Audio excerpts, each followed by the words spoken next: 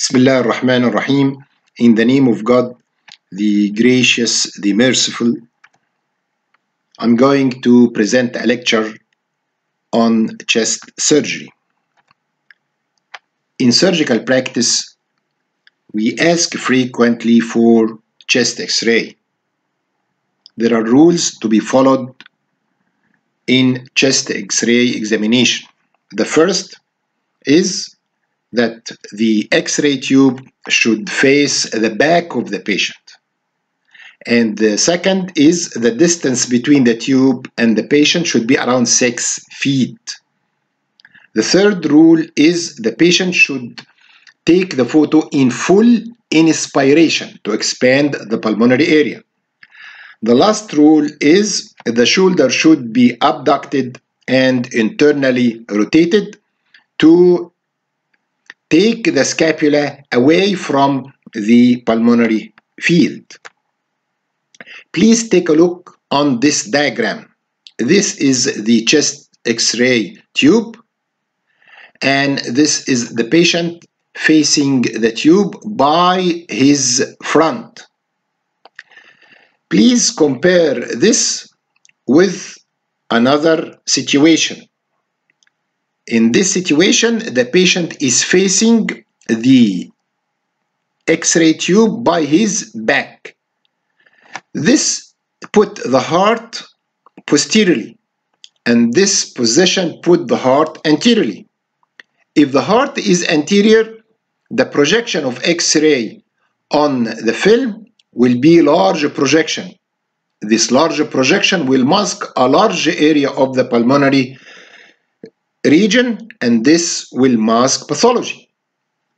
If you put the patient in the posterior anterior view, the heart will be posterior and the X-ray will project the heart shadow in only a small area of the film, leaving most of the pulmonary area exposed to X-ray and it will be better visualized by the X-ray. So usually we put the patient in the posterior uh, view, meaning we take the photo in a postero-anterior view, not anteroposterior. Please observe this photo that is taken wrongly in an anteroposterior view. Observe the cardiac shadow is large and obscuring a great deal of the pulmonary area. This is a chest x-ray in the posterior anterior view. This is the correct position. This is the correct view. Because the heart here leaves a great deal of the pulmonary area exposed and any pathology will appear easily. If you take the chest x-ray in full inspiration, the dimensions of the chest are all expanded. Please compare, for example, the vertical dimension of the chest here to that of the other side. This side, you see the chest x-ray is taken in expiration. Observe the vertical height here is shorter than the vertical height there. The difference is in that this patient is taken in full inspiration and that patient is taken in expiration. To comment upon a chest x-ray, please take it in order. Start from lateral to medial Start by commenting on the chest cage represented by the ribs. Then go medial, look for any pleural disorders. Furtherly medial, look for lung disorders.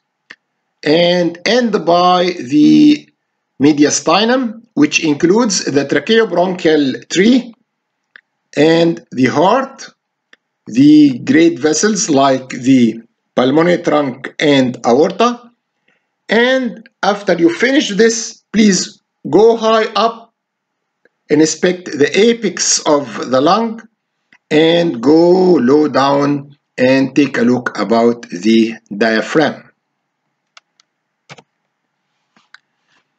In this X-ray, we split the chest cage into left and right. Please finish your observations on the left side completely, then go for the right side. And at the end, please compare both sides.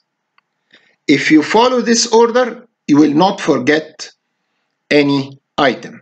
Let's revise. Start by the ribs, the pleura, the pulmonary area, the mediastinum. Then go to the apex, and lastly end by the base at the diaphragm. Again, do the same in the contralateral side. Start by the ribs, the pleura, the lung, and the mediastinum.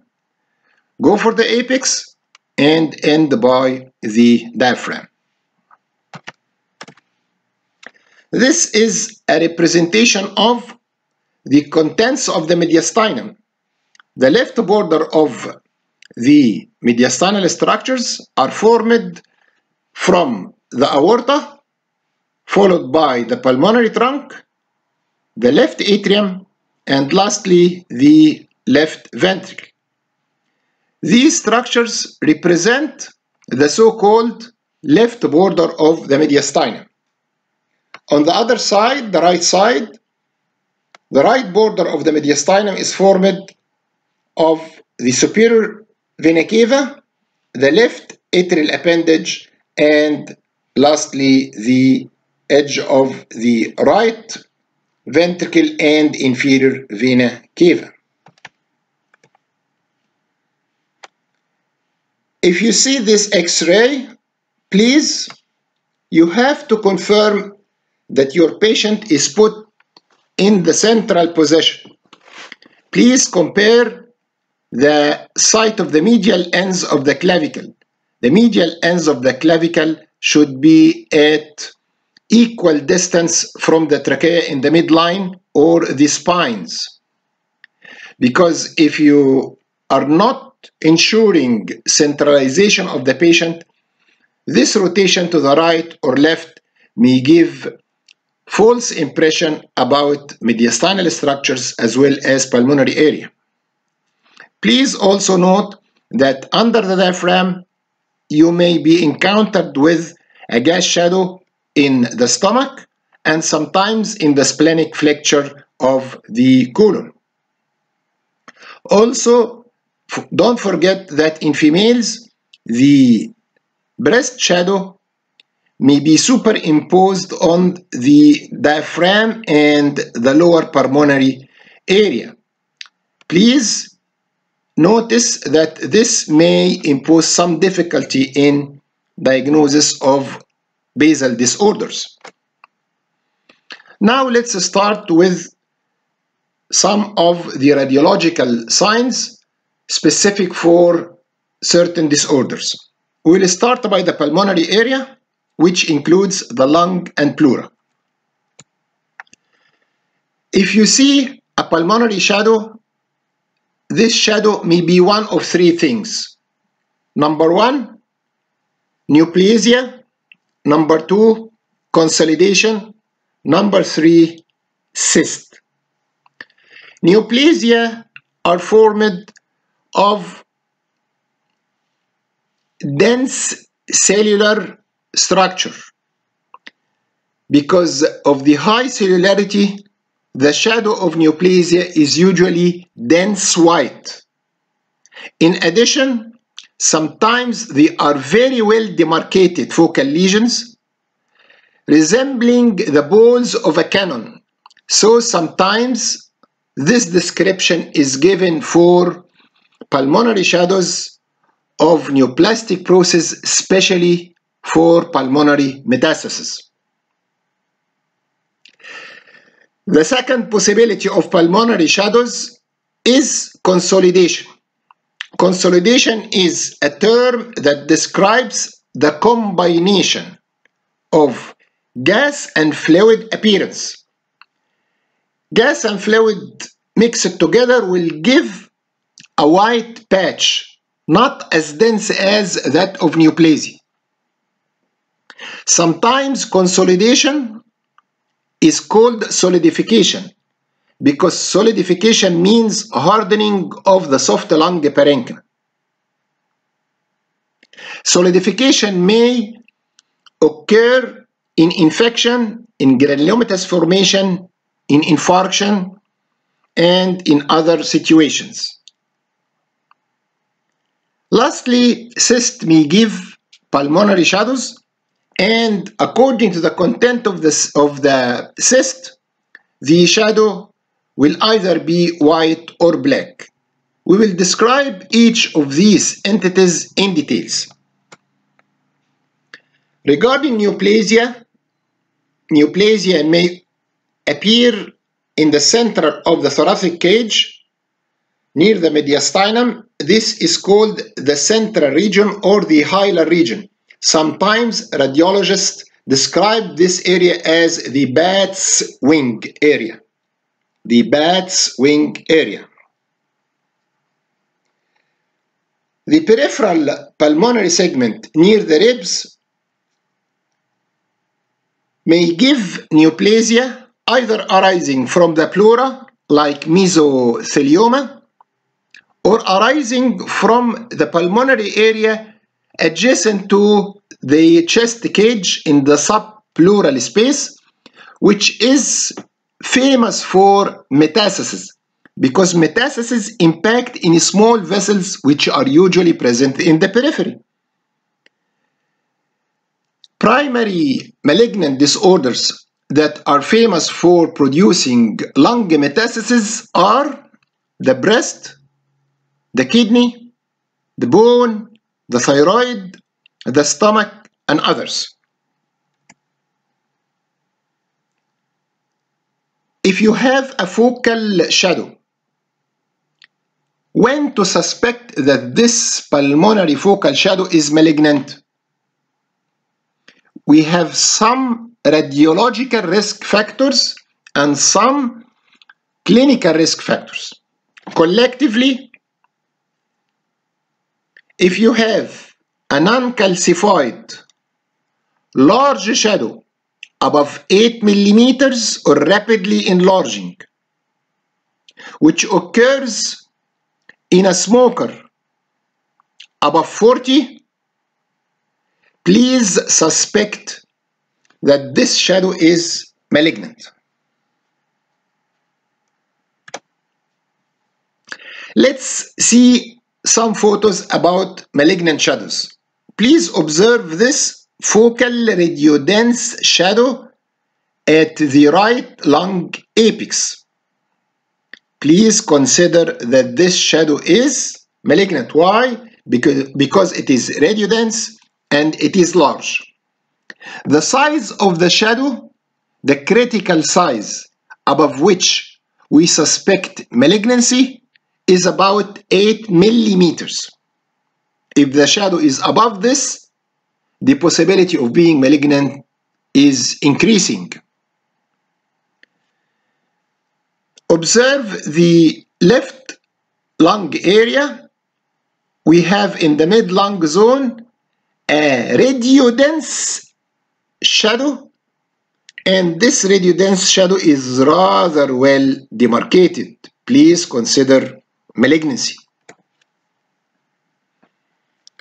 Take a look on this x-ray.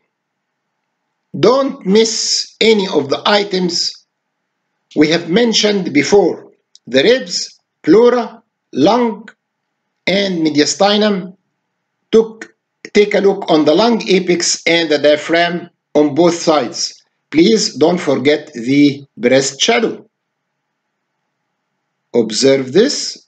This case has left a breast shadow. What about the right breast shadow? It is not present. This case was submitted to radical mastectomy.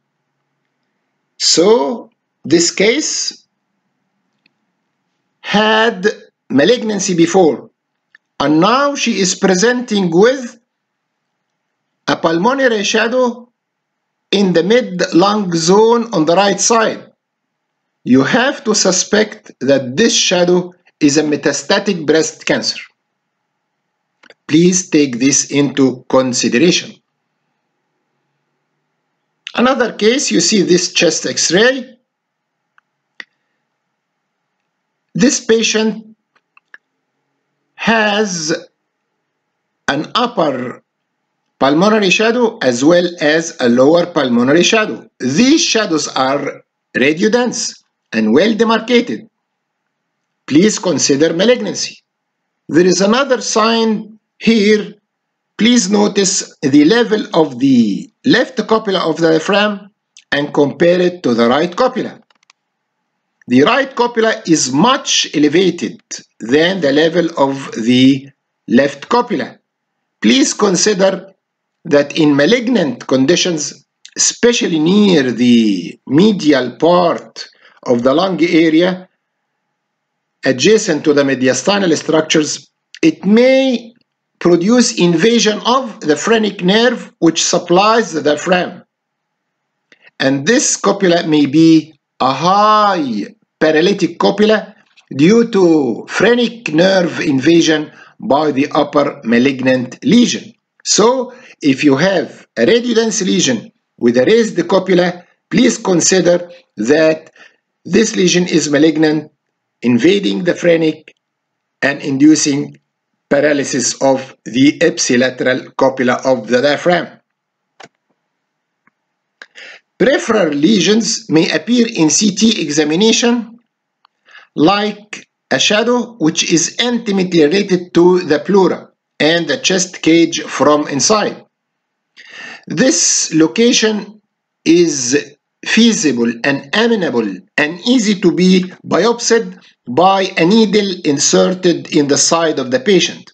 It's a very simple procedure. You can take a needle biopsy passing through the intercostal spaces under image guiding, like this case. It's a CT guided fine needle or Tru-Cut biopsy to settle the diagnosis.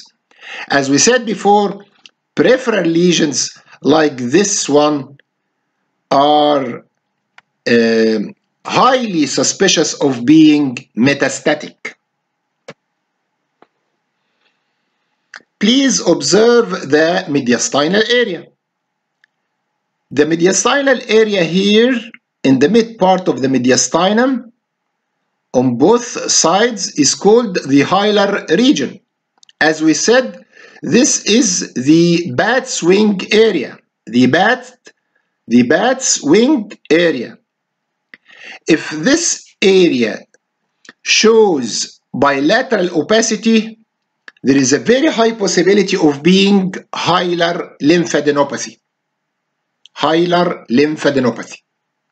We see these uh, changes in lymphoma and in granulomatous disorders such as tuberculosis, sarcoidosis, pneumoconiosis, etc. Another case that shows bilateral hilar opacity suggestive of lymphadenopathy, hilar adenopathy. But observe on the right side, there is another radiodense lesion here. This may be a bronchial cancer central type, and this may be its metastasis, its lymphatic metastasis. Please consider the overall diagnosis of the case. Sometimes the dense opacities are bilateral and multiple. When you have this appearance, please consider very much pulmonary metastasis. This is a very typical of rounded radiodense bilateral multiple densities. These are cases of pulmonary metastasis. Please look for the primary, as we said before, look for the breast, look for the testes, look for the stomach, look for the prostate, look for osteosarcoma, etc., etc. The second cause of pulmonary shadow induction is the presence of lung consolidation or solidification. The situation that produces consolidation, as we said before, is a mix of air and fluid involving an area of the soft pulmonary tissue. This induces usually whitish opacity. The most common causes of consolidation are collapse, infarction, lung contusion, and inflammation, whether acute or chronic. Let's study one by one. Lung collapse is defined as loss of volume due to inadequate expansion of small air spaces. And small air spaces includes the alveoli as well as the respiratory bronchioli. Collapse may be due to obstruction or compression.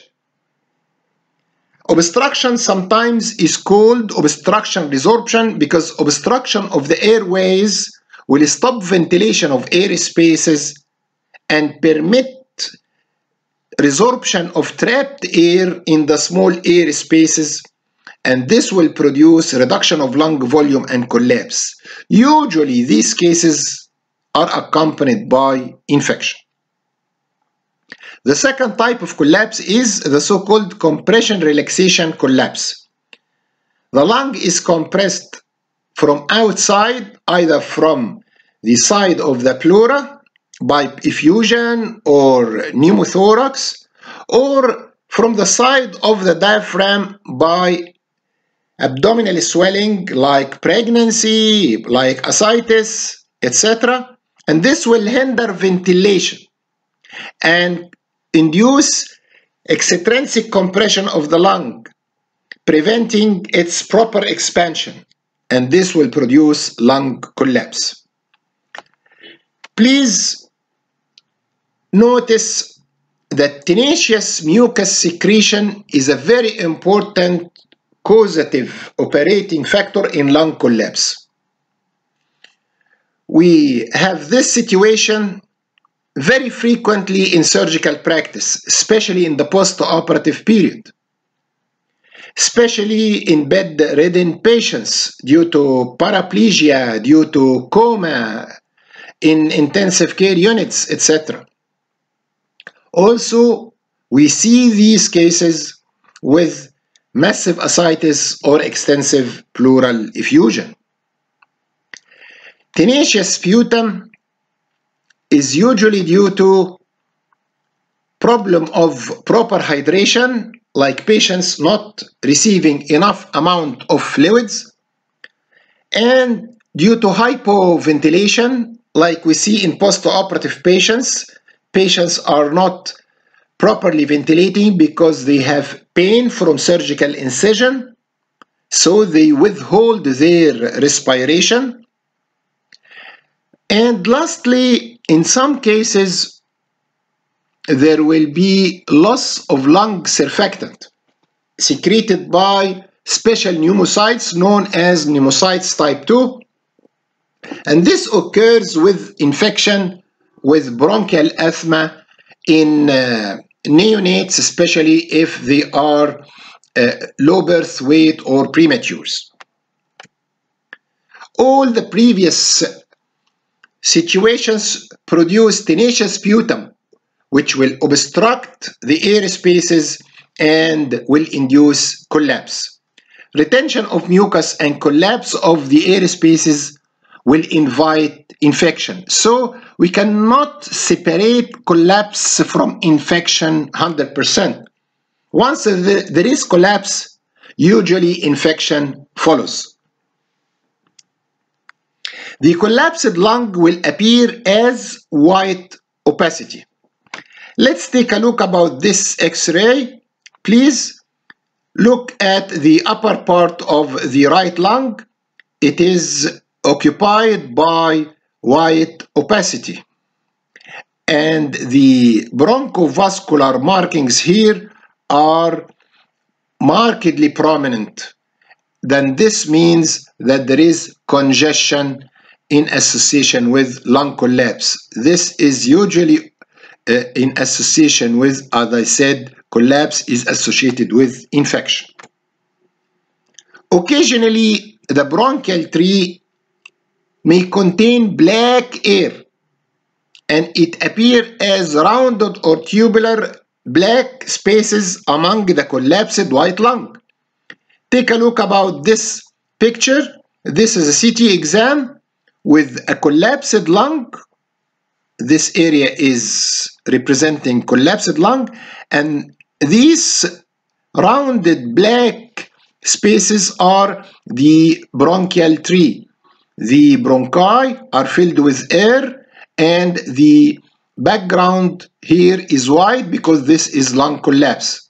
This is a chest x-ray that shows upper lobe collapse.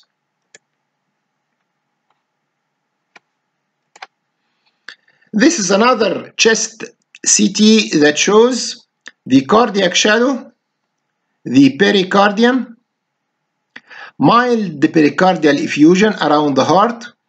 This is the right dome of the liver with the upper surface of the right lobe start to appear. And this is the right lung, which is rather normal. Take a look on the left pulmonary area. This is the chest cage, this is the ribs. This is the pleural space that is occupied by fluid.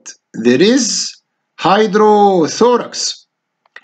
Please observe this whitish area. This shadow is representing a collapsed lung. The lower lobe of the lung is collapsed and it appears white and among this white opacity there is tubular black air spaces representing the bronchi.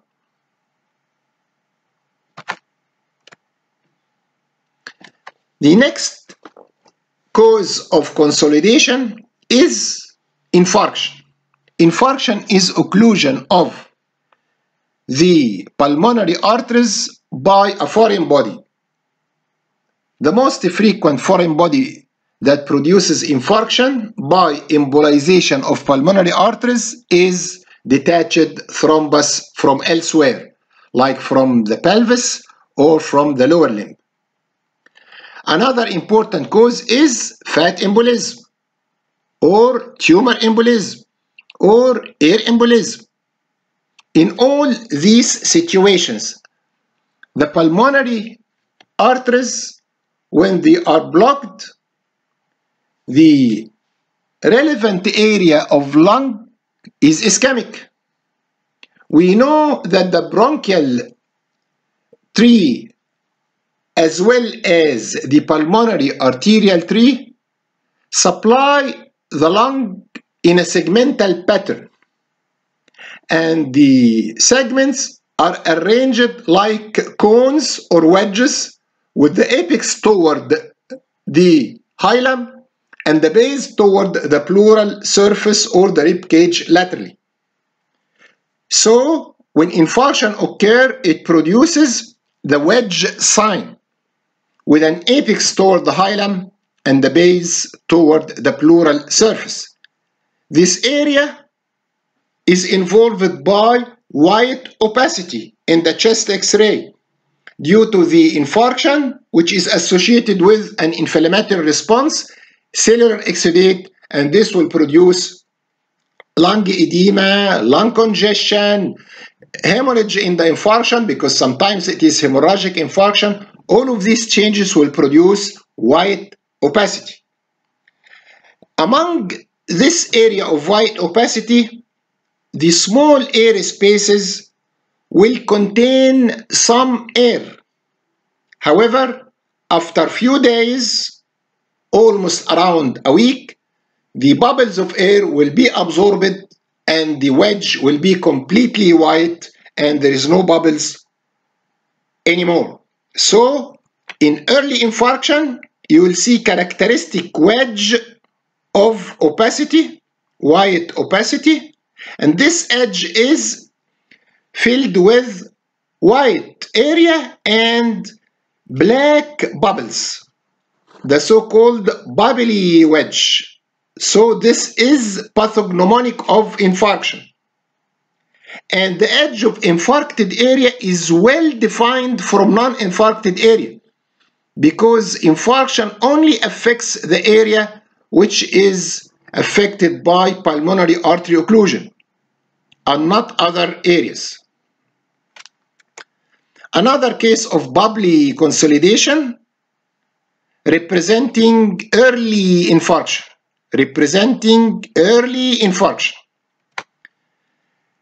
A third case of wedge affection with bubbles of black air or spots, round the spots of black air inside, this bubbly consolidation appear like a wedge.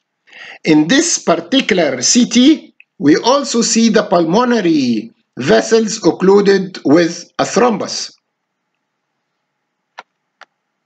A detached thrombus from the lower limb. And this is a bilateral uh, pulmonary embolism.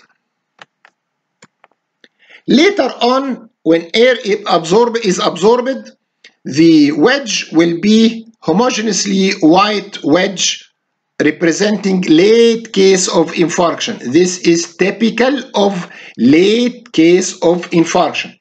So, infarction early is represented by a wedge area of white opacity with small bubbles of black air inside. After one week, it will be represented by homogeneously white wedge with the apex toward the hilum and the base toward the rib cage. The third disorder that affects the lung and gives white opacity is lung contusion. There is usually a history of trauma. And after trauma, contusion and bruising of part of the lung produces consolidation and characteristically this consolidation exhibit non-segmental distribution and thus it has ill-defined borders.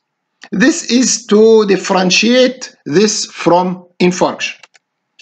Let's see the contusion area. See the upper uh, part of the right lobe. This area is affected by white patch here of opacity. The same in the lateral view. This is a CT in the sagittal view and this shows the same white opacity which does not exhibit a strict segmental distribution. It has ill-defined borders and this is a lung contusion with a clear history of chest trauma. The third, uh, sorry, the fourth cause of pulmonary opacities is the presence of inflammation, which may be acute, like different forms of pneumonia, or chronic, like granulomatous inflammation. Pneumonia may be induced by bacteria, and most importantly, Streptococcus uh, pneumonia or pneumococci is the most frequent cause of pneumonia, also Haemophilus influenza. Other organisms may also produce pneumonia like staphylococci and other organisms. However, uh, also viral infection is very frequent, fungal infection, especially in immune compromised patients, aspiration pneumonia, especially in post-operative patients and patients uh, inserting uh, nasogastric tube for feeding or decompression. Sometimes pneumonia occur secondary to parasitic infestation elsewhere in the body with allergic reaction producing eosinophilic pneumonia. Lastly, there is uh, sometimes idiopathic cases with obscure cause of interstitial pneumonitis and no primary causative factor can be identified. In all these situation, situations, we uh, may have a certain distribution in the pulmonary area, either respecting a certain lobe or diffuse and bilateral, and thus it may be called lobar or bronchopneumonia. The affected area of lung tissue appear as white opacity because the alveoli uh, and bronchi are filled with inflammatory exudate and mucus secretion, displacing air from the air spaces. Thus, it appears as fluffy ground glass appearance. Fluffy ground glass appearance because the inflammatory exudate is filling the small alveoli. That's why it has a characteristic fluffy appearance. This is a classic picture of the fluffy ground glass appearance. You see, like fluffy cotton or like ground glass affecting the right side of the chest. These are also examples of lobar pneumonia on the right side and another case on the left side. This is a case of bilateral affection. Please observe in this patient the fluffiness and the prominent tubulovascular uh, uh, markings. Uh, the tracheobronchial tree are edematous, congested, and prominent, as well as this trending or reticulated appearance.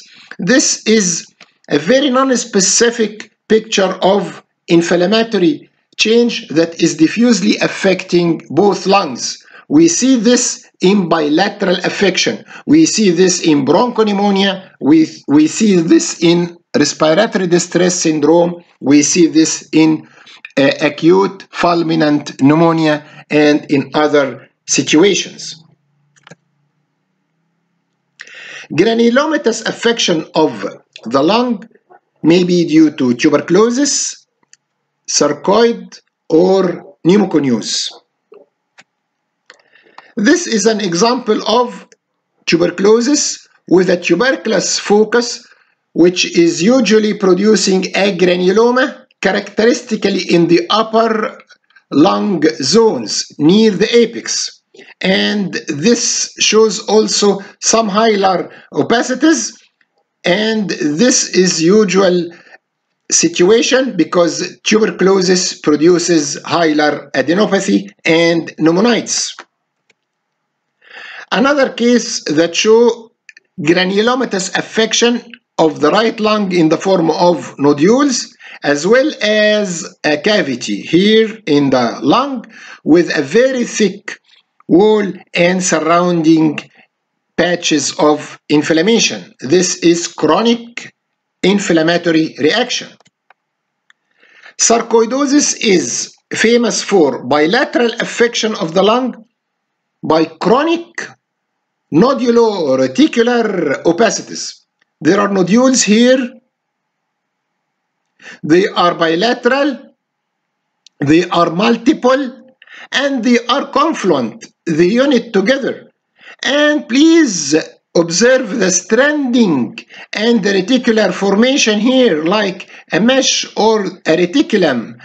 This web appearance or reticular appearance with nodularity is pathognomonic of a chronic granulomatous reaction. Usually this occurs in sarcoidosis. Sarcoidosis is a non-caseating granulomatous reaction of obscure etiology. It may be immune mediated. Sometimes the antigen is ill defined and not detected. It may be due to infection by virus or bacteria or a foreign body. Sometimes may be autoimmune disease. Sometimes sarcoidosis affect lymph nodes. Sometimes the eye, it produces uveitis. In other cases, it may affect the skin. Pneumoconiosis is a granulomatous inflammatory reaction due to inhalation of particulate matter like dust, dust of tobacco, cotton, sugar cane fibers, any grains, coal, silica, asbestosis, etc., etc., etc. It was early described in coal miners and it was uh, giving the picture of pneumoconiosis. Let's see this pathological appearance, gross pathological uh, picture of the lung on the left side. This is a left main bronchus that is affected by a growth here with ill-defined borders and invasive character invading the surroundings. There is no definite capsule. The cut section is highly cellular and pale white, whitish yellow. This is most probably a bronchial cancer. Please observe the cut section of the lung tissue that is studded with several blackish spots. This is granulomatous reaction toward uh, coal dust. This is called this is called pneumoconiosis, uh, which occur, as I said, in coal miners, and it may be complicated due to chronic irritation by bronchial cancer after several years. This is the most common causes of lung consolidation. Let's see them together in order to, to take an idea about the difference in radiological appearance. Number one, this is lung collapse. The lung will appear as whitish opacity with black tubular uh, area of the bronchial tree. It is also here surrounded by effusion. In cases of infection, uh, sorry, infarction, we will see characteristic wedge and this wedge is studied, is involved, is affected by small black bubbles of trapped air inside the alveoli. And this is called wedge, wedge infarction, wedge white opacity with bubbles inside. So it is bubbly wedge opacity. In lung contusion, as I said, history of trauma is evident and it is ill-defined and the density is rather heterogeneous. Lastly, inflammation will produce ground glass appearance or fluffy cotton appearance. The last cause of lung opacity is the presence of cystic lesions. Sometimes these cystic lesions appear as black if it is filled with air, but if it is filled with fluid, sometimes it appear as white opacity. Some cysts are complex cysts, meaning it is partially filled with fluid and partially filled with solid component like neoplastic cysts. And in this situation, the solid component will appear as dense white, the fluid component, component will appear as light white.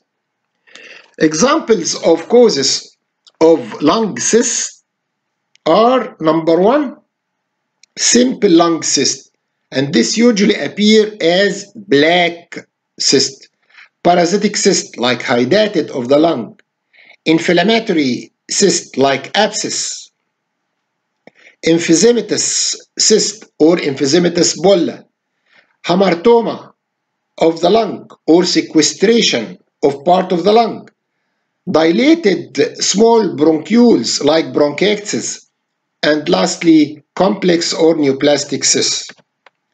This is an X-ray in the postero-anterior view that shows a large cystic area on the middle part of the right lung and the wall is rather thin and the bronchovascular markings are less prominent in the middle of this cyst and it appear as blackish cyst. Most probably this is a bronchogenic cyst.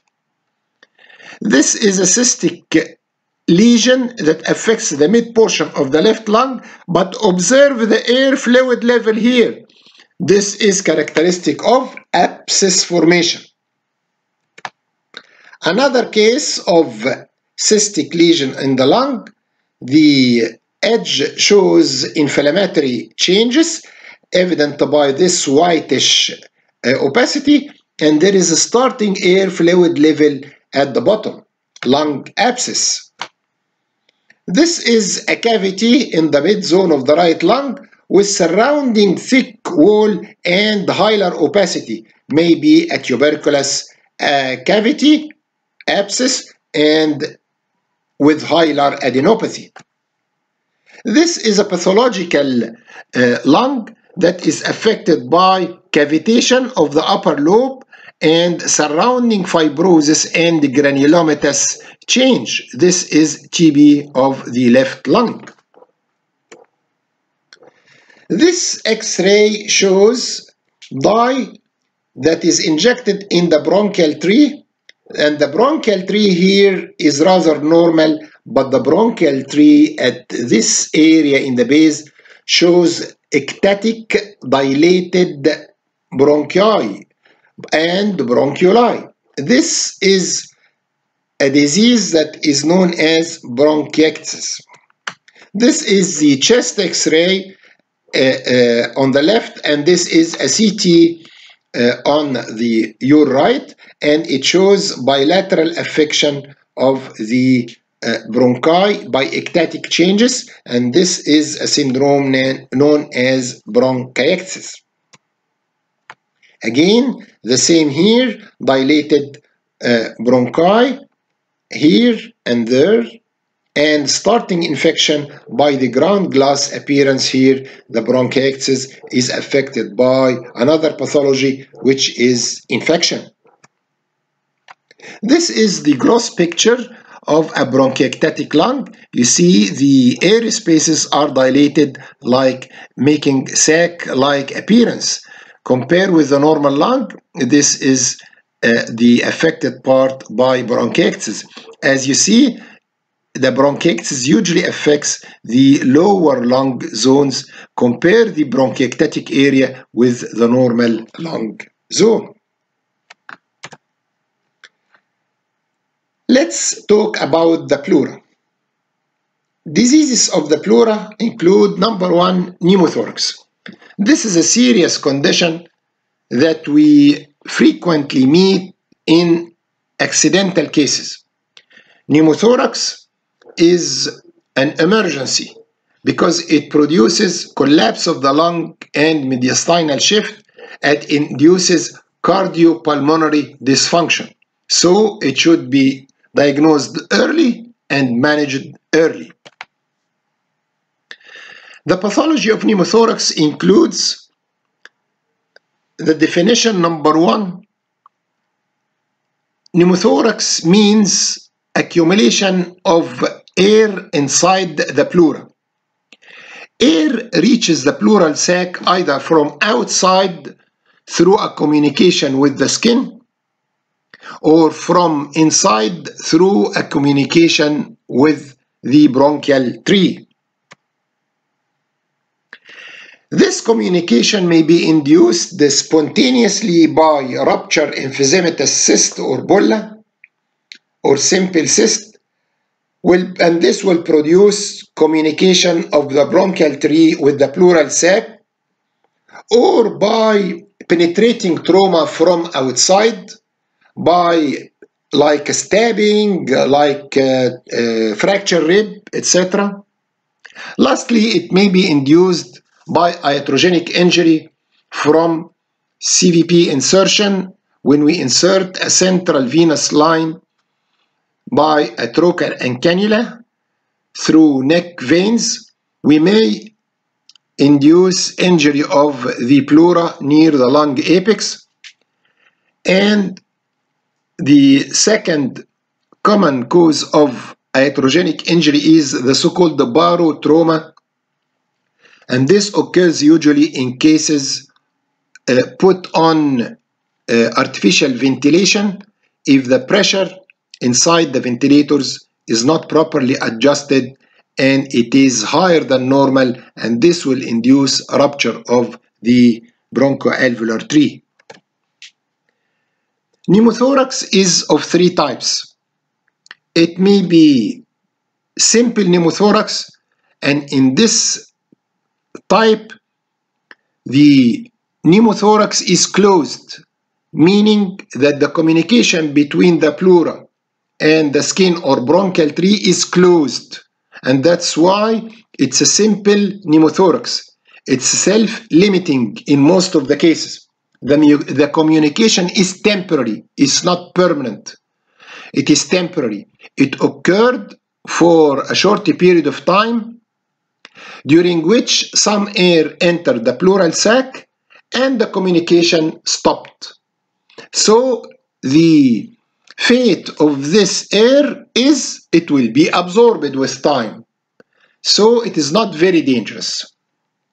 The second type is the so-called open pneumothorax. In this type, the communication with the external air or the bronchial tree air is continuous.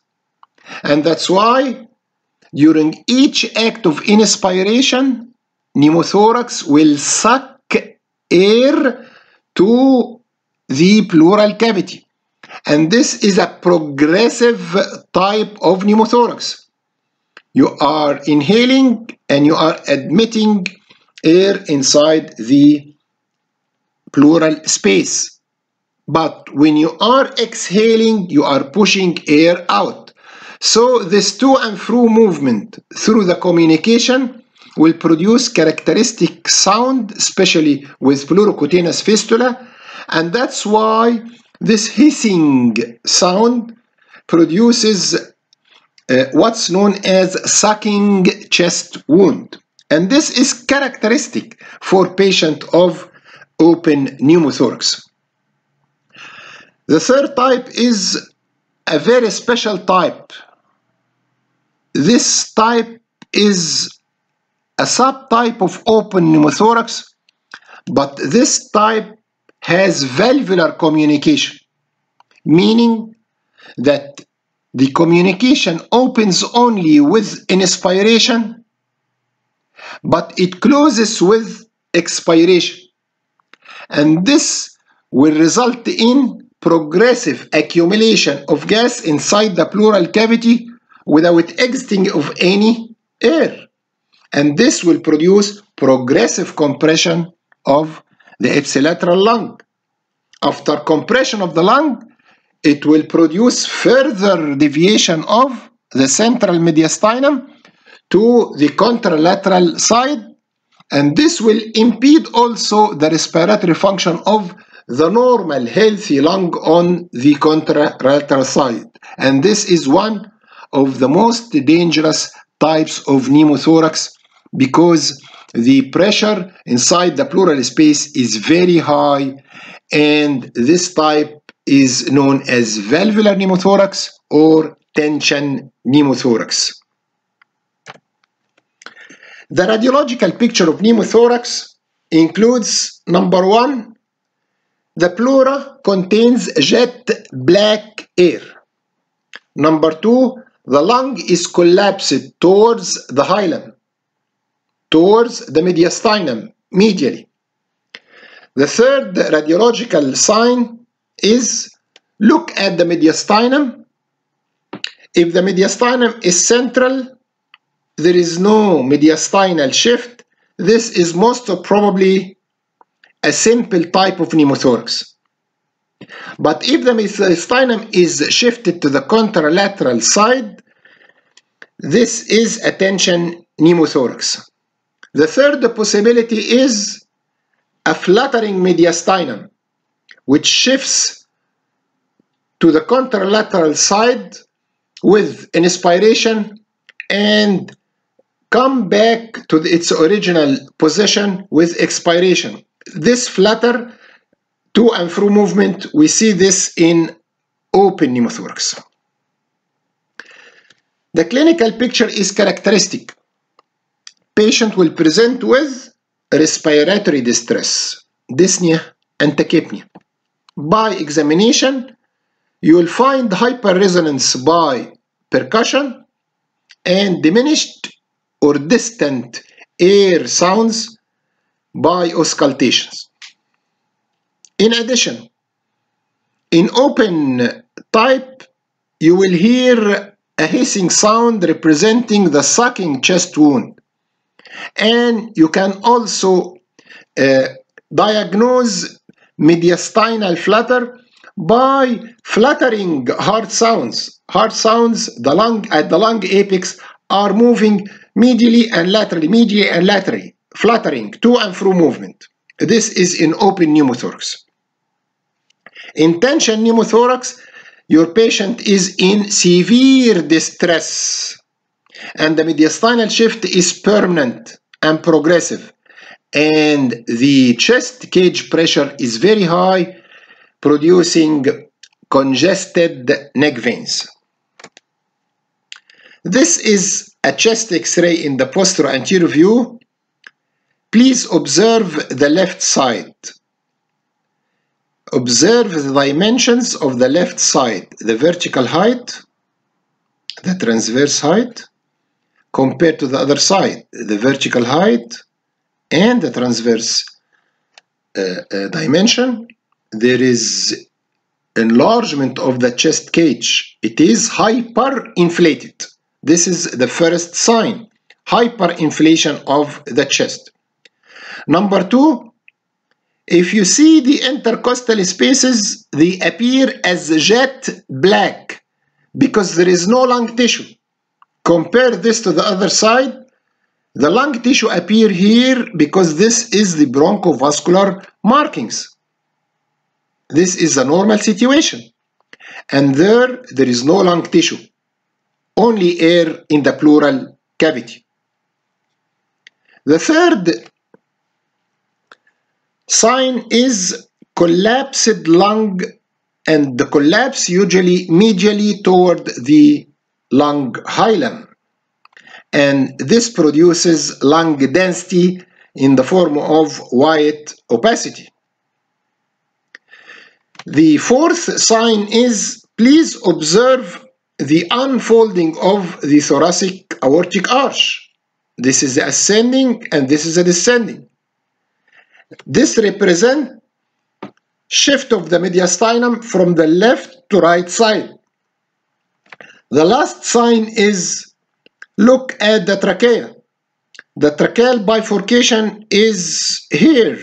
It is on the right side. This is a tracheal bifurcation instead of being in the center. So the trachea and the aorta and, and the heart are all pushed to the contralateral side and this represents the mediastinal shift.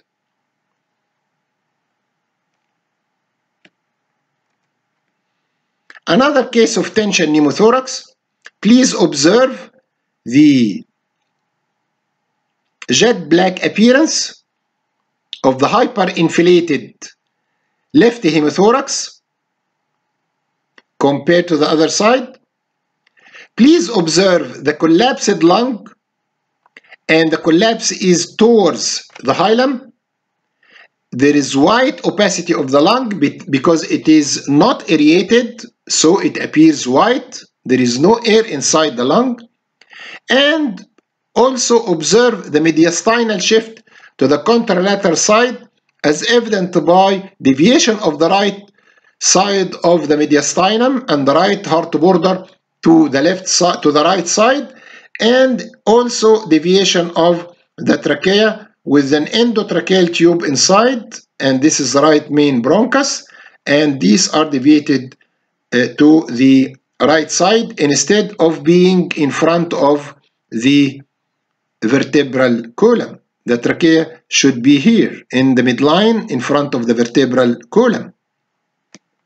Another case of tension pneumothorax. Please compare the previous cases with this case. This is the chest cage, the ribs. This is the bronchovascular markings of the lung reaching the chest cage. No problem. This is the left border of the heart, the right border of the heart. This is the trachea in the midline in front of the vertebral column. All of this hemithorax is normal. Take a look about the right side. Please observe in the intercostal spaces the bronchovascular markings. It is normal. But please go lateral near the rib cage. This is the edge of the lung.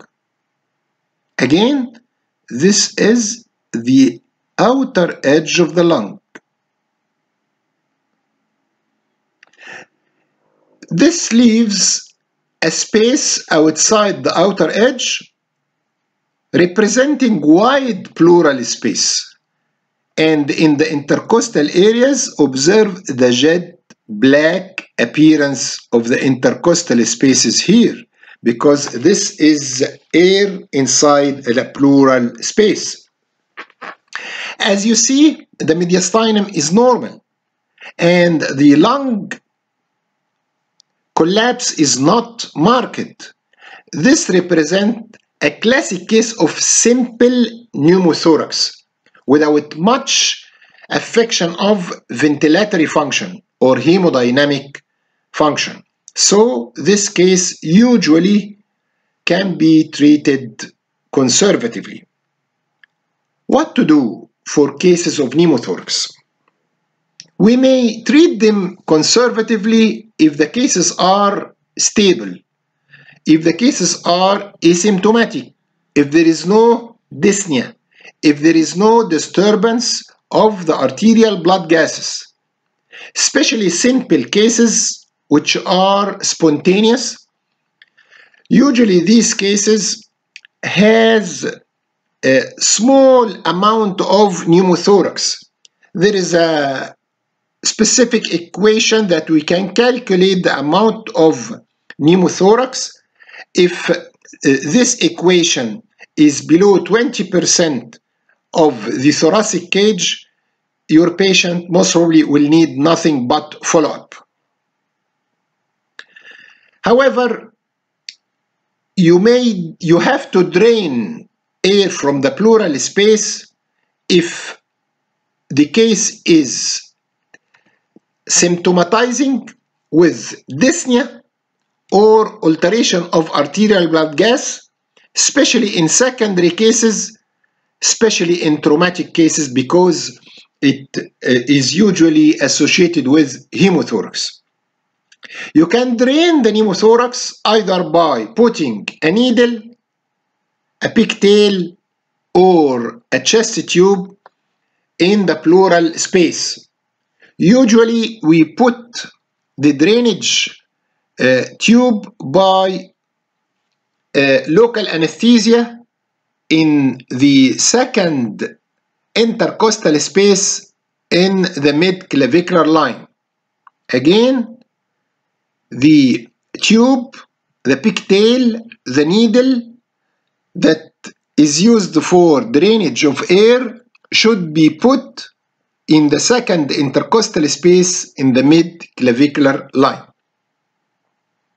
Rarely cases need surgical intervention in the form of pleurodesis. In recurrent cases of pneumothorax, like uh, recurrent rupture emphysematous bulla, uh, you may need to fix the lung to the parietal pleura.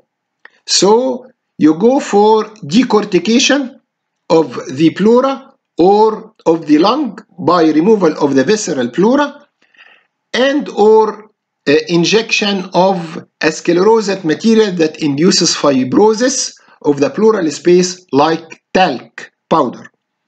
This will make the lung fixed to the undersurface of the rib cage and it will prevent lung collapse.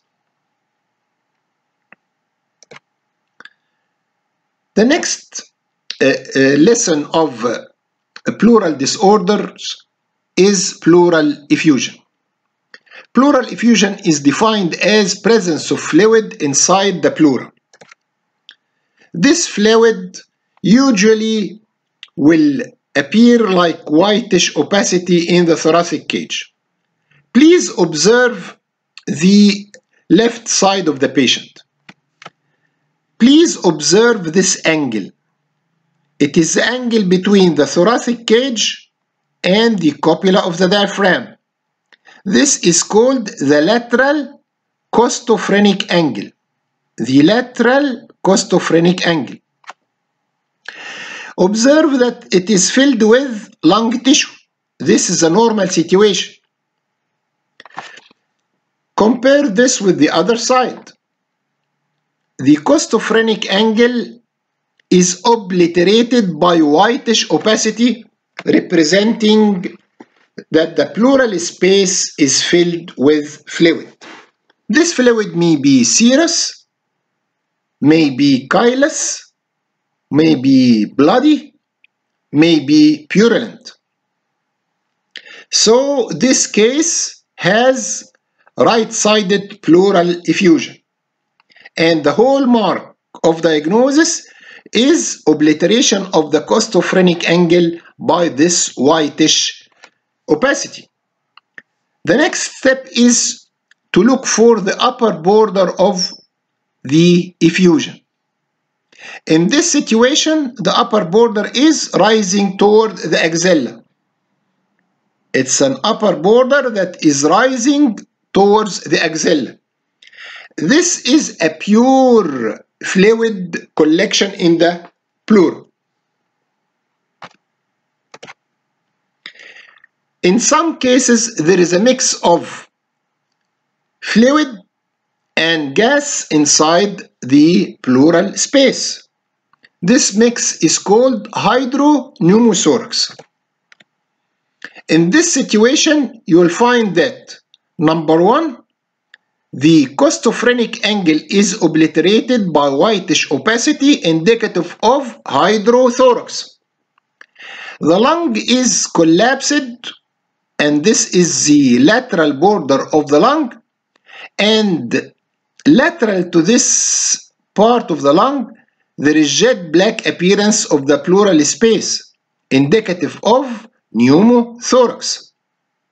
So this case has hydrothorax below, pneumothorax above, and the air fluid level here represent a transverse line. So if you have pleural effusion with an upper transverse border, please consider the presence of air and fluid inside the same thoracic cage and this is a combination of he, uh, hydropneumothorax. Hydropneumothorax. This is another case of obliterated costophrenic angle at the left side indicative of pleural effusion. Again, look for the upper border. It's a transverse upper border. Look for the intercostal space. The intercostal spaces here are jet black. There is no bronchovascular markings whatsoever, like the other side. So this part of the chest cage is filled with gas. So this is also a case of a combination of air and fluid, hydropneumothorax. Observe that this case is filling almost two-thirds of the thoracic cage. And this is called massive effusion. Another case with an upper transverse border Again, it's a hydropneumothorax.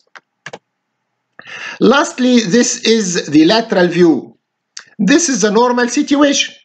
This is a vertebral column. This is the shadow of the heart. And this is the shadow of the cupola of the diaphragm. Please observe the posterior costophrenic angle and the anterior costophrenic angle. In this case, the costophrenic angles are free and they are only filled with lung tissue. Compare this with this situation. This is a pathological condition in which the posterior costophrenic angle as well as the anterior costophrenic angle are obliterated by whitish opacity representing pleural fluid. Not only this, there is a transverse upper border and this indicates the presence of hydropneumothorax. This is another situation in which there is bilateral obliteration of the costophrenic angles representing bilateral pleural effusion. It is said that if the costophrenic angles are just obliterated, this means that each side here is filled with around 500 ml of fluid. Lastly, let's speak about the mediastinum. Please take a look about the central part of the chest cage. Observe what about the tracheal shadow. Please take a look about the tracheal shadow.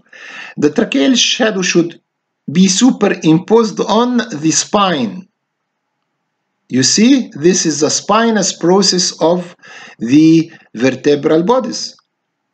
The trachea should be aligned with the spinous processes.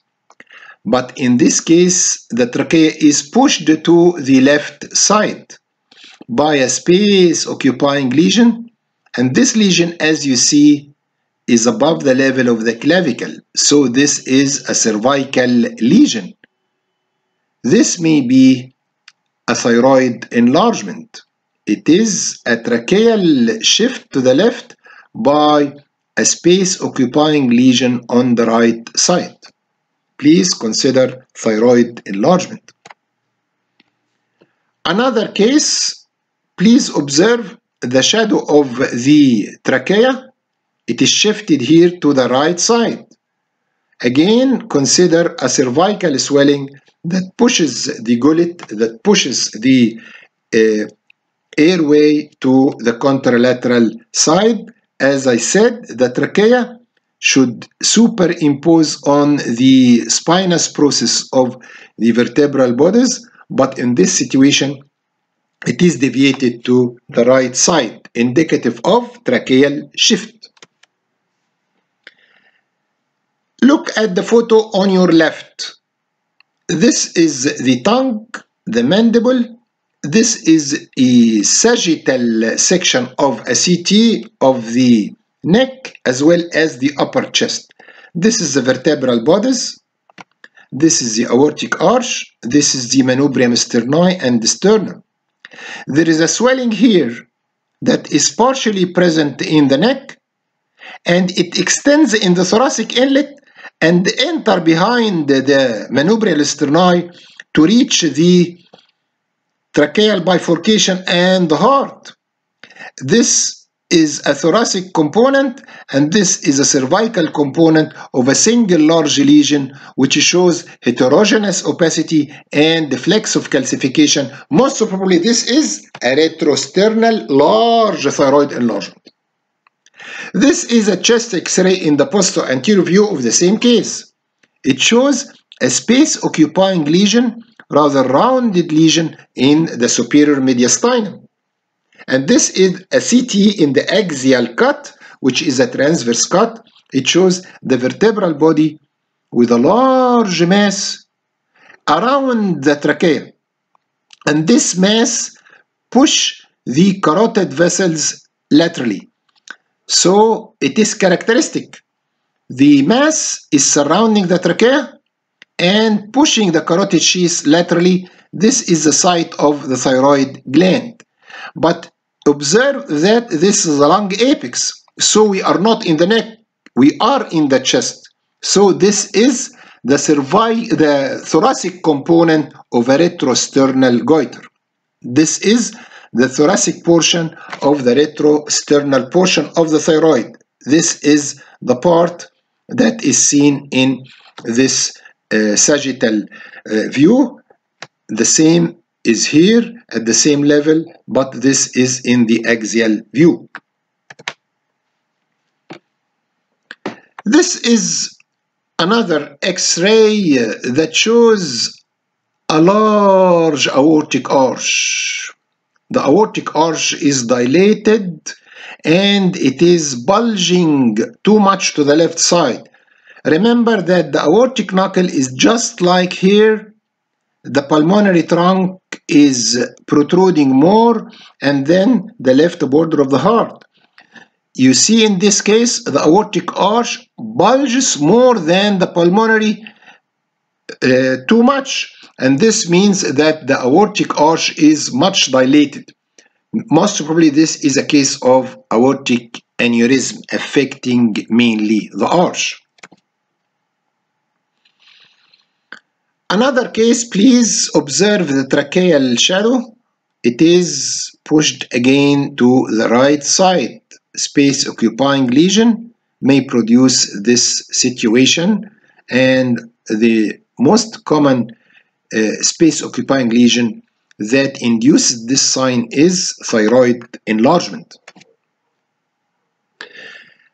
Observe this case in which this is the aortic arch and below the level of aortic arch there is a mass. This mass is rather rounded and this mass occupies the central part of the mediastinum.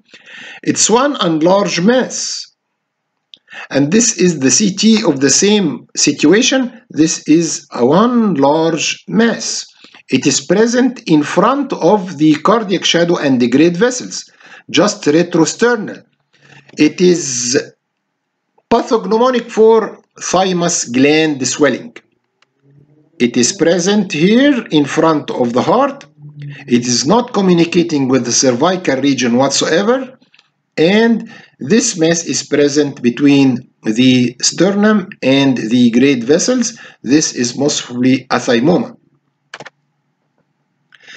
This is the aortic arch and this is the tracheal shadow and this is a large mass that extends from the sternum anterior and take all almost all the uh, diameter anteroposterior diameter of the thoracic cage. It extends from the posterior thoracic wall to the anterior thoracic wall. And this is another cut in the same mass. The mass is mainly around the aorta and around the trachea. And this is a large mass. It's rather irregular and the mass is heterogeneous as you see. Most probably this is a case of lymphoma.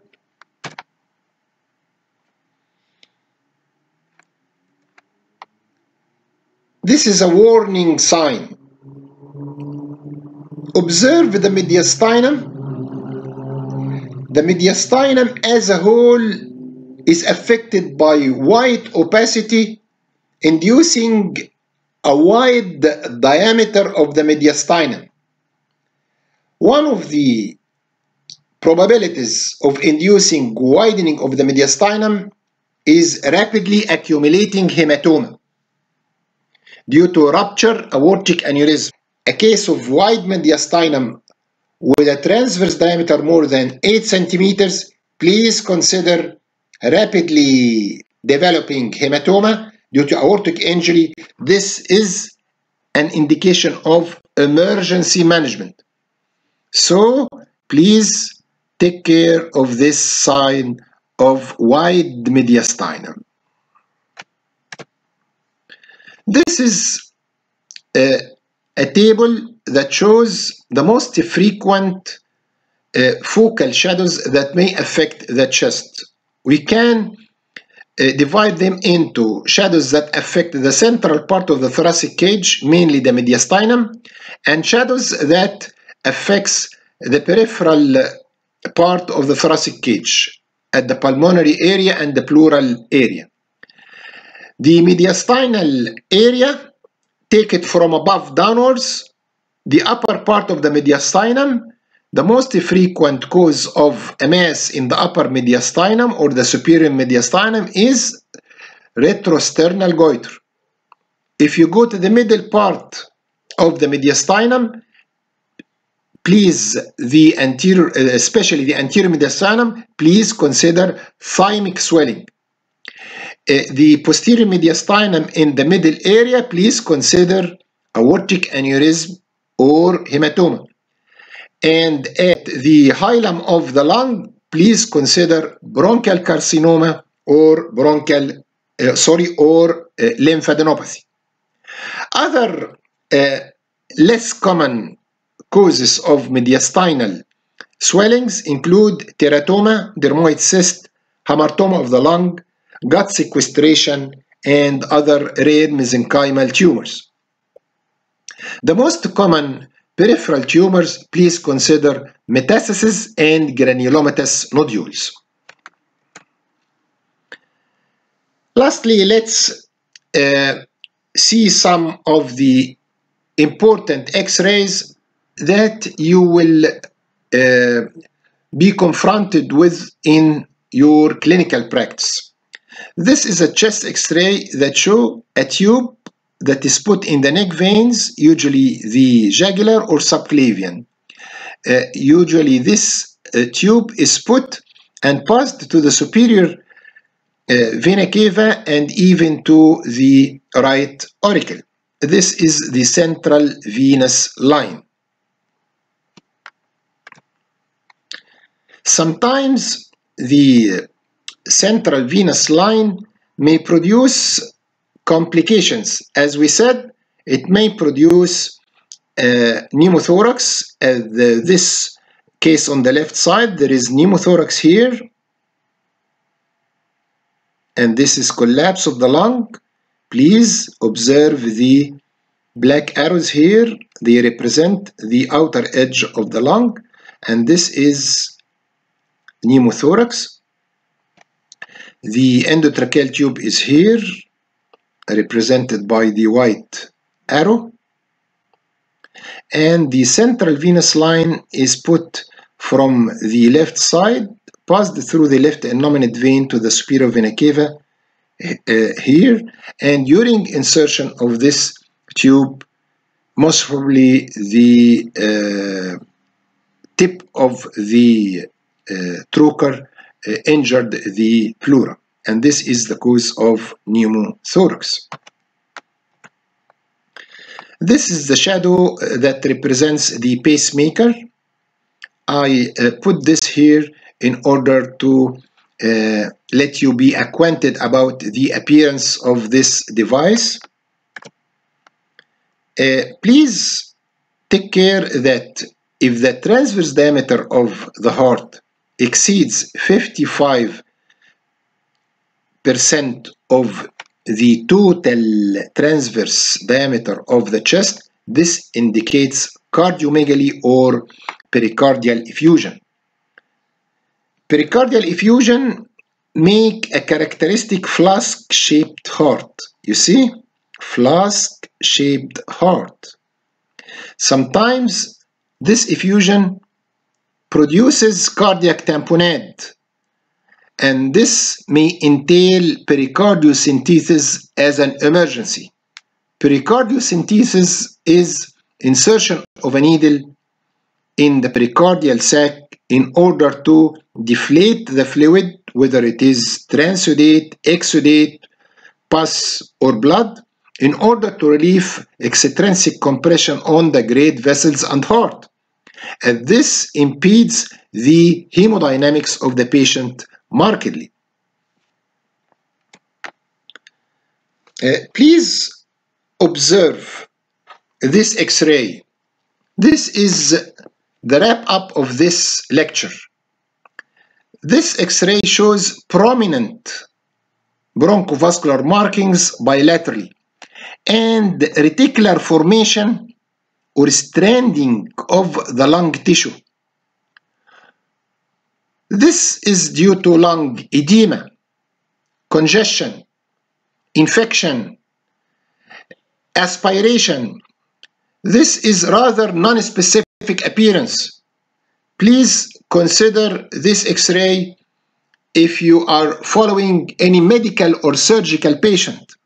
If the pulmonary uh, appearance, the pulmonary area appears in uh, like this X-ray, please consider prominent bronchovascular markings, reticular formation, stranding. Please consider that this patient has an underlying problem. He may has pulmonary edema, like due to left-sided heart failure, mitral regurg, over infusion by large amount of fluids, etc. He may have pneumonia. He may develop aspiration of gastric contents into the lung. He may be developing adult respiratory distress syndrome, etc., etc. So, if you start having this exaggerated bronchovascular marking appearance with reticulation and fine whitish opacities, please, this is a warning signal. This is not normal. It indicates underlying problem. Please investigate. Lastly, I'm welcoming any questions, any comments. Please chat with me on WhatsApp or send me mail, and this is my mail, and you will find this presentation on medtube.net under the title of Surgical Radiology Ibrahim Galal. You can send comments also on this uh, website and you may find the presentation also on the YouTube. Thank you.